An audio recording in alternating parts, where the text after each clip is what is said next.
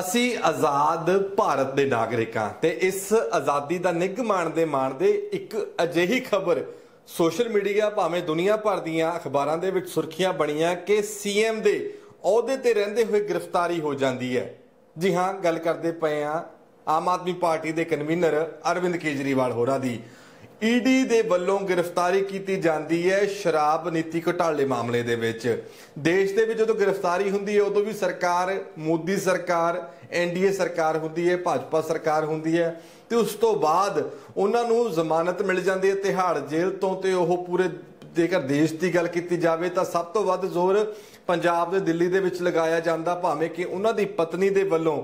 ਜਦੋਂ ਜੇਲ੍ਹ ਦੇ ਵਿੱਚ ਸਨ ਅਰਵਿੰਦ ਕੇਜਰੀਵਾਲ ਤਾਂ ਕਮਾਨ ਸਾਂਭੀ ਗਈ ਸੀ, ਪਰ ਜੋ ਲੋਕ ਸਭਾ ਦੇ ਵਿੱਚ ਰਿਜ਼ਲਟ ਆਉਂਦੇ ਨੇ, ਉਸ ਤੋਂ ਬਾਅਦ ਹੁਣ ਇੱਕ ਹੋਰ ਮਾੜੀ ਖਬਰ ਆਮ ਆਦਮੀ ਪਾਰਟੀ ਦੇ ਲਈ ਸਾਹਮਣੇ ਆਉਂਦੀ ਪਈ ਹੈ। 19 ਜੂਨ ਤੱਕ ਜੋ ਉਹਨਾਂ ਦੀ ਨਿਆਇਕ ਹਿਰਾਸਤ ਸੀ, ਸਮਾਂ ਦਿੱਤਾ ਗਿਆ ਸੀ ਤੇ ਉਹਨਾਂ ਨੂੰ ਆਮ ਆਦਮੀ ਪਾਰਟੀ ਦੇ ਵਰਕਰਾਂ ਨੂੰ, ਨੇਤਾਵਾਂ ਨੂੰ ਇਹ ਉਮੀਦ ਸੀ ਕਿ 19 ਜੂਨ ਤੋਂ ਕੋਈ ਚੰਗੀ ਖਬਰ ਸਾਹਮਣੇ ਆ ਸਕਦੀ ਹੈ। ਕਿਉਂਕਿ ਜਿਵੇਂ ਹੀ ਅਰਵਿੰਦ ਕੇਜਰੀਵਾਲ ਹੋਰਾਂ ਦੀ ਸ਼ਰਾਬ ਨੀਤੀ ਮਾਮਲੇ ਦੇ ਵਿੱਚ 21 ਮਾਰਚ ਨੂੰ ਉਹਨਾਂ ਨੂੰ ਅਰੈਸਟ ਕੀਤਾ ਜਾਂਦਾ, ਉਸ ਤੋਂ ਬਾਅਦ ਜੇਲ੍ਹ ਦੇ ਵਿੱਚ ਭੇਜਿਆ ਜਾਂਦਾ। ਭਾਵੇਂ ਕਿ ਪੂਰੇ ਦੇਸ਼ ਦੇ ਵਿੱਚ ਇੱਕ ਫਲੈਕਸ ਬੋਰਡ ਤੁਸੀਂ ਦੇਖ ਲਏ ਹੋਣੇ ਕਿ ਜੇਲ੍ਹ ਦਾ ਬਣਿਆ ਹੋਇਆ ਤੇ ਅੰਦਰ ਸਲਾਖਾਂ ਦੇ ਪਿੱਛੇ ਅਰਵਿੰਦ ਕੇਜਰੀਵਾਲ ਹੋਣੀ ਆ, ਪਰ ਉਸ ਤੋਂ ਬਾਅਦ ਉਹਨਾਂ ਨੂੰ ਲੋਕ ਸਭਾ ਦੇ ਵਿੱਚ ਜ਼ਮਾਨਤ ਮਿਲ ਜਾਂਦੀ ਹੈ।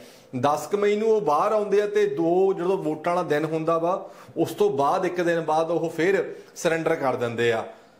ਪੂਰੇ ਜਿਹੜਾ ਇਹਨਾਂ ਨੂੰ ਜ਼ਮਾਨਤ ਮਿਲੀ ਹੁੰਦੀ ਹੈ, ਦਿੱਲੀ ਤੋਂ ਲੈ ਕੇ ਪੰਜਾਬ ਤੱਕ ਪੂਰਾ ਜ਼ੋਰ ਲਗਾਇਆ ਜਾਂਦਾ ਹੈ। ਉਮੀਦਵਾਰਾਂ ਦੇ ਹੱਕ ਦੇ ਵਿੱਚ ਪਰ ਰਿਜ਼ਲਟ ਜਿਹੜੇ ਆ, ਉਹ ਬਹੁਤ ਡਿਫਰੈਂਟ ਉਲਟ ਆਉਂਦੇ ਆ ਆਮ ਆਦਮੀ ਪਾਰਟੀ ਦੇ। ਪਰ ਹੁਣ ਹੁਣ ਹੋਇਆ ਕੀ ਹੈ?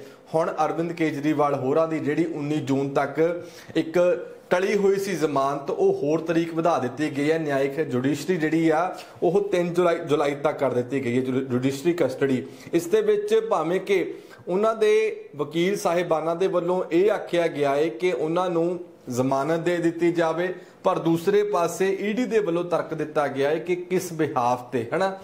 ਜੋ ਉਸ ਤੋਂ ਪਹਿਲਾਂ ਜੇਕਰ ਗੱਲ ਕੀਤੀ ਜਾਵੇ ਤਾਂ ਈਡੀ ਨੇ ਇਹ ਵੀ ਕਿਹਾ ਸੀ ਕਿ ਇਹਨਾਂ ਨੇ ਝੂਠ ਬੋਲਿਆ ਕਿ ਭਾਰ ਵਧਿਆ ਜਾਂ ਘਟਿਆ ਵਾ ਬਿਮਾਰੀ ਦੇ ਕਰਕੇ।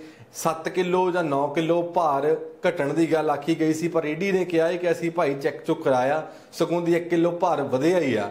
ਜੇਕਰ ਗੱਲ ਕੀਤੀ ਜਾਵੇ ਜ਼ਮਾਨਤ ਮਿਲਣ ਤੋਂ ਆਖਰੀ ਦਿਨਾਂ ਦੇ ਵਿੱਚ ਅਰਵਿੰਦ ਕੇਜਰੀਵਾਲ ਹੋਰਾਂ ਦੇ ਵੱਲੋਂ ਇਹ ਕਿਹਾ ਗਿਆ ਸੀ ਕਿ ਮੈਂ ਹੁਣ ਜੇਲ੍ਹ ਦੇ ਵਿੱਚ ਚੱਲਿਆ, ਦੁਬਾਰਾ ਸਰੈਂਡਰ ਕਰਨ ਚੱਲਿਆ, ਜਿਹੜੇ ਮੈਂ ਇੰਨੇ ਦਿਨ ਲੋਕਾਂ ਦੇ ਲੇਖੇ ਇੱਕ ਇੱਕ ਮਿੰਟ ਲਾਇਆ ਤੇ ਹੁਣ ਜੇਲ੍ਹ ਦੇ ਵਿੱਚ ਮੇਰੇ ਨਾਲ ਕੀ ਹੋਵੇਗਾ, ਇਹ ਤਾਂ ਰੱਬ ਹੀ ਜਾਣਦਾ। ਪਰ ਉਸ ਤੋਂ ਬਾਅਦ ਇਹ ਜ਼ਰੂਰ ਉਮੀਦਾਂ ਸਨ ਕਿ ਦੇਸ਼ ਦੇ ਵਿੱਚ ਸਰਕਾਰ ਭਾਵੇਂ ਇੱਕ ਵਾਰ ਫਿਰ ਐਨਡੀਏ ਦੀ ਗਠਬੰਧਨ ਦੀ ਆ ਸਕਦੀ ਹੈ ਜਾਂ ਕਾਂਗਰਸ ਦੀ ਆ ਸਕਦੀ ਹੈ, ਪਰ ਐਨ ਮੌਕੇ ਤੇ ਜਿਸ ਤਰ੍ਹਾਂ ਟੀਡੀਪੀ ਪਾਰਟੀ ਦੇ ਵੱਲੋਂ ਜਾਂ ਦੂਸਰੀ ਪਾਰਟੀ ਜੇਡੀਯੂ ਪਾਰਟੀ ਦੇ ਵੱਲੋਂ ਸਮਰਥਨ ਦੇ ਦਿੱਤਾ ਗਿਆ ਐਨਡੀਏ ਨੂੰ ਇਸ ਕਰਕੇ ਸਰਕਾਰ ਫਿਰ ਹੈਟ੍ਰਿਕ ਮਾਰ ਜਾਂਦੀ ਹੈ। ਪਰ ਹੁਣ ਹੁੰਦਾ ਕੀ ਪਿਆ ਏ? ਇੱਕ ਵਾਰ ਫਿਰ ਤਾਰੀਖ ਨਵੀਂ ਮਿਲ ਗਈ ਹੈ। 3 ਜੁਲਾਈ ਨੂੰ ਹੁਣ ਇਸ ਮਾਮਲੇ ਦੇ ਵਿੱਚ ਫੈਸਲਾ ਜਾਂ ਸੁਣਵਾਈ ਹੋ ਸਕਦੀ ਹੈ। ਪਰ ਹੁਣ ਅਰਵਿੰਦ ਕੇਜਰੀਵਾਲ ਹੋਰਾਂ ਦੇ ਮਾਮਲੇ ਨੂੰ ਲੈ ਕੇ ਪੰਜਾਬ ਦੇ ਵਿੱਚ ਤਾਰਾਂ ਖੜਕੀਆਂ ਹੋਈਆਂ ਨੇ, ਕਿਉਂਕਿ ਪੰਜਾਬ ਦੇ ਵਿੱਚ ਇਸ ਵੇਲੇ ਜ਼ਿਮਨੀ ਚੋਣਾਂ ਦਾ ਮਾਹੌਲ ਸਿਖਰਾਂ ਤੇ ਪਹੁੰਚਿਆ ਹੋਇਆ ਹੈ ਜੇਕਰ ਇੱਕੋ ਇੱਕ ਸੀਟ ਜਲੰਧਰ ਦੀ ਗੱਲ ਕੀਤੀ ਜਾਵੇ, ਤਾਂ ਸਭ ਤੋਂ ਪਹਿਲਾਂ ਆਮ ਆਦਮੀ ਪਾਰਟੀ ਦੇ ਵੱਲੋਂ ਭਗਵੰਤ ਮਾਨ, ਪੰਜਾਬ ਦੇ ਮੁੱਖ ਮੰਤਰੀ ਦੇ ਵੱਲੋਂ ਮਹਿੰਦਰ ਭਗਤ ਦਾ ਨਾਮ ਲਿੱਤਾ ਗਿਆ ਸੀਗਾ। ਉਹਨਾਂ ਨੂੰ ਉਮੀਦਵਾਰੀ ਟਿਕਟ ਮਿਲੀ ਹੈ, ਜਿਹੜੇ ਕਿਸੇ ਸਮੇਂ ਭਾਜਪਾ ਦੇ ਵਿੱਚ ਹੁੰਦੇ ਆ। ਫਿਰ ਜ਼ਿਮਨੀ ਚੋਣ ਜਿਹੜੀ ਬਾਈ ਇਲੈਕਸ਼ਨ ਹੁੰਦੀ ਆ ਉਸ ਦੌਰਾਨ ਉਹ ਭਾਜਪਾ ਦਾ ਸਾਥ ਛੱਡ ਕੇ ਆਮ ਆਦਮੀ ਪਾਰਟੀ ਦੇ ਵਿੱਚ ਆ ਜਾਂਦੇ ਆ ਤੇ ਪੂਰਾ ਜ਼ੋਰ ਇਸ ਵਾਰੀ ਬਾਕੀ ਜਿਹੜੀਆਂ ਪਾਰਟੀਆਂ ਸਭ ਤੋਂ ਵੱਧ ਜ਼ੋਰ ਭਾਜਪਾ ਲਿਆਉਣ ਦੀ ਤਿਆਰੀ ਦੇ ਵਿੱਚ ਸੁਪਰ ਐਕਟਿਵ ਹੋਈ ਪਈ ਹੈ। ਇਸ ਕਰਕੇ ਕਿਤੇ ਨਾ ਕਿਤੇ ਭਗਵੰਤ ਮਾਨ ਨੂੰ ਅੰਦਰੋਂ ਅੰਦਰੀ ਜਿਹੜਾ ਸਾਥ ਸੀਗਾ, ਆਪਣੇ ਕਨਵੀਨਰ ਅਰਵਿੰਦ ਕੇਜਰੀਵਾਲ ਦਾ, ਉਹ ਕਿਤੇ ਨਾ ਕਿਤੇ ਖਾਮੀ ਮਹਿਸੂਸ ਹੁੰਦੀ ਹੋਣੀ ਹੈ। ਭਾਵੇਂ ਕਿ ਲੋਕ ਸਭਾ ਦੇ ਵਿੱਚ ਵੀ ਅਰਵਿੰਦ ਕੇਜਰੀਵਾਲ ਦੀ ਜਿਹੜੀ ਪਤਨੀ ਜੀ ਆ, ਉਹਨਾਂ ਦੇ ਵੱਲੋਂ ਸੁਨੀਤਾ ਕੇਜਰੀਵਾਲ ਦੇ ਵੱਲੋਂ ਕਮਾਨ ਸੰਭਾਲੀ ਗਈ ਸੀ। ਪਰ ਕਹਿੰਦੇ ਆ ਕਿ ਜਿਹੜਾ ਐਕਸਪੀਰੀਅੰਸ ਅਰਵਿੰਦ ਕੇਜਰੀਵਾਲ ਨੂੰ ਆ, ਜਿਹੜਾ ਉਹ ਸ਼ਾਰਪ ਮਾਈਂਡ ਡਿਸੀਜਨ ਲੈਣ ਦੀ ਹੈਗੀ ਆ ਗੱਲਬਾਤ ਉਹਨਾਂ ਕੋਲ ਹੀ ਆ। ਜ਼ਿਮਨੀ ਚੋਣਾਂ ਸਿਰ ਤੇ ਆ ਗਈਆਂ, ਉਧਰੋਂ ਪੰਚਾਇਤੀ ਨਗਰ ਨਿਗਮ ਚੋਣਾਂ ਸਿਰ ਤੇ ਆਈਆਂ ਪਈਆਂ ਨੇ ਸਭ ਦੇ ਵਿੱਚ ਕੀ ਬਣੇਗਾ ਆਮ ਆਦਮੀ ਪਾਰਟੀ ਦਾ? ਦਿੱਲੀ ਦੇ ਵਿੱਚ ਨਵਾਂ ਸੰਕਟ ਸ਼ੁਰੂ ਹੋ ਗਿਆ ਹੈ ਪਾਣੀ ਦਾ ਚਿੱਠੀ ਲਿਖੀ ਗਈ ਹੈ।